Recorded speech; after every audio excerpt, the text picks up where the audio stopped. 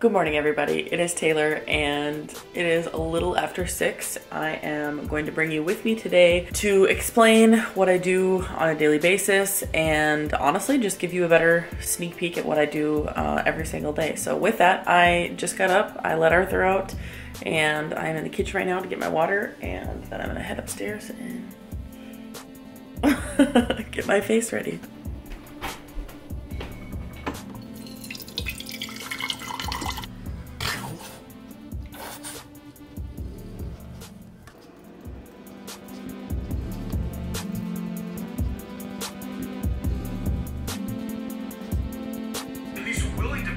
Down, but you incinerate everything. All right, so first step, dry shampoo. I'm using this because it smells good and it works really well. So dry shampoo, check. Usually I work out in the mornings, but this morning I was on the wait list for Orange Theory, so I did not go. Beautiful, oh my gosh, just like so much better. All right, next up, we gotta treat these curls a little bit. So I squirt some stuff on it and call it good. So I'm gonna use this stuff, Cocoa Dew. Mm-hmm. Do you want some? Mm-hmm. This first meeting that I'm going to is a meeting with the one of, oh, I totally missed my hair. Why is everything harder on my left hand? My meeting today, right now, my first meeting at 8.30 is with an investor, one of the investors. Okay, I'm pretty sure I do this to myself every single morning, but I got caught up on the phone. I ran late with getting my makeup on, and now I have to be at my meeting in like less than 10 minutes, and it takes me 12 minutes to get there. So, you're gonna come with me in the Tesla to watch me speed through town. Walk through my lovely water damaged house, grab the key.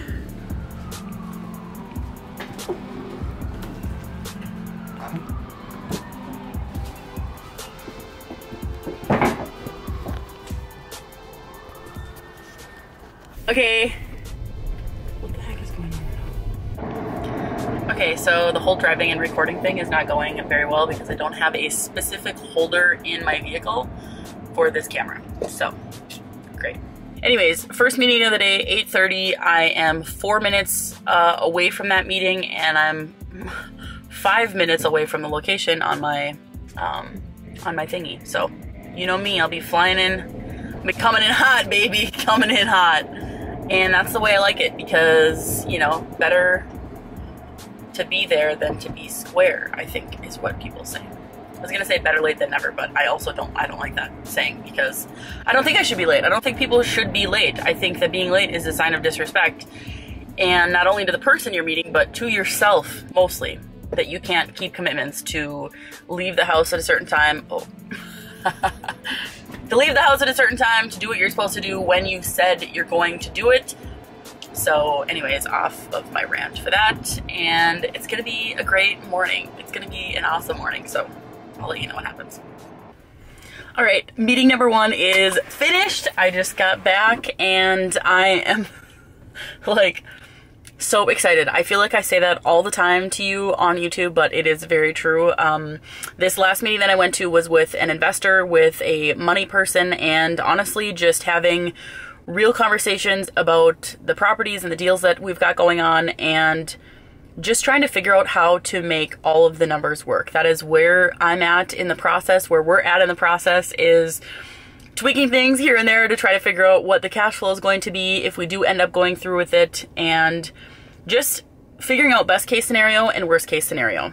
And I know that we've talked about lots of different things about real estate, but I think specifically our end game, mine and Michael's end game, is to do this for the long term and to buy and hold properties and to be uh, very smart with our decisions on maintaining great properties and having great renters and all of these things kind of combined as one. So that meeting today was was a really big deal because I'm honestly looking forward to creating more relationships as well with people in regards to every aspect of my life, but also with real estate specifically for this last meeting. So uh, next step for this one is to bring some additional numbers to the owners of the different portfolios and properties that I'm looking at to purchase and run through some scenarios with them. So with real estate, it's always nice because you can be really flexible. So it doesn't always have to be one plus one equals two. It can be a combination of all sorts of different crazy creative things to make it work. So meeting number one is done and now I'm headed back to my office to get some work done before my next meeting and I'll keep you posted on my 1030.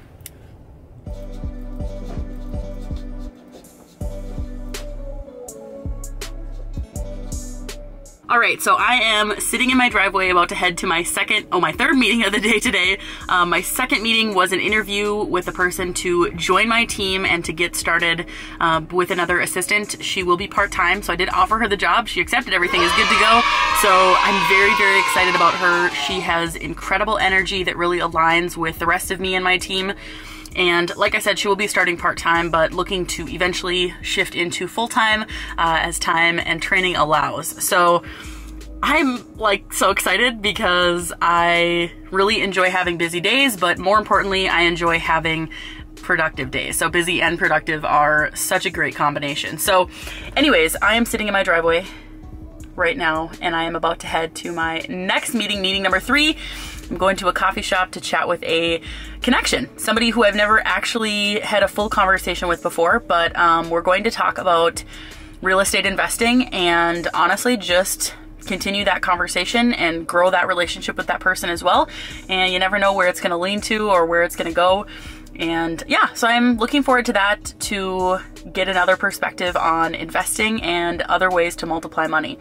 So I'll keep you in the loop after that. Okay, everybody, yesterday 100% got away from me and that is no excuse, so I'm here to finish my video from all the things that I did yesterday with a quick recap for you. All right, it's no surprise that I have lots of stuff going on kind of all at the same time, and you know what? I absolutely love it. I would have it no other way. So I met about real estate investment opportunities. I met about insurance with new clients.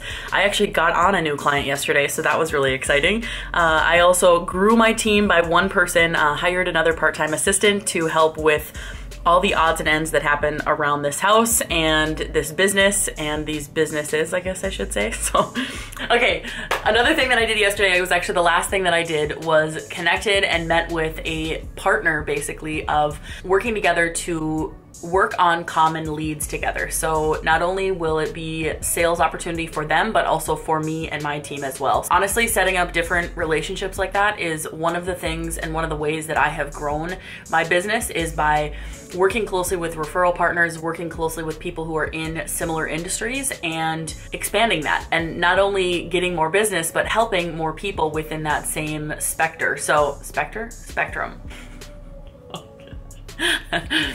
So that was the last thing that I did yesterday. It was about a 45 minute webinar and honestly we dove into who our common clients are, who we're going to target, who we're going to help, and essentially worked out ways to split, you know, split commission, split payments, and work out an affiliate type of deal. If you are in any sort of service industry, or if you have the ability to do that, I would strongly encourage you to take a look at that because you're essentially not only asking for them to look out for you, but you're also asking them to look out for themselves. And if it's truly a combination that fits together, then it makes the most sense to do that for your clients and for their clients. I was very excited about that because there's more power in multiplication than in addition. So we're looking at rolling that out and starting to move that along very quickly. And honestly, with the new quarter and the new month and the new everything, it just gets me re-excited and reinvigorated to continually do what I do on a daily basis. Okay, the last thing that I'm going to talk to you about today in this video is to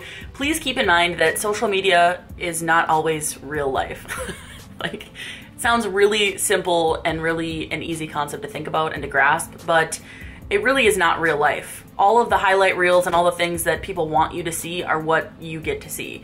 You don't get to see all of the times that people are driving to appointments, all the times that people say no to you, all the times that people don't get what they want and they post about something different or something happens and it's not always shared with what reality really is. So I want you to keep that in mind and even with my social media stuff, I try to keep it real with you. I try to show you what it is all about that I go through on a daily basis and there's still people I'm sure out there that think that that my life is a fairy tale or you know whatever maybe maybe not, I don't know But you know what I mean. I'm trying to tell you that when you see somebody who is succeeding, succeeding and excelling at a high level, that that overnight success has built has been built over years of, of work. And there's no such thing as getting to the top immediately. It just does not happen. Even people who win the lottery, that does not happen that way. They don't stay wealthy unless they have the mindset in place. So it's something that kind of bothers me because I know that there's so many people who put a lot of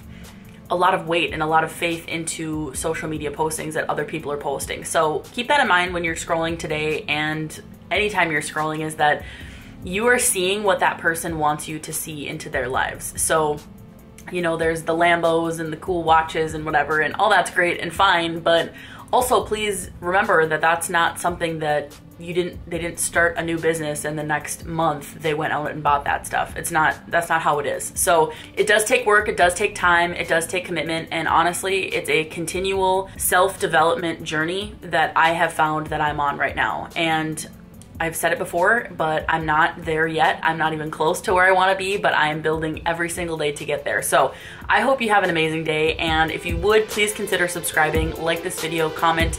You know what to do, and we'll see you on the next video very soon.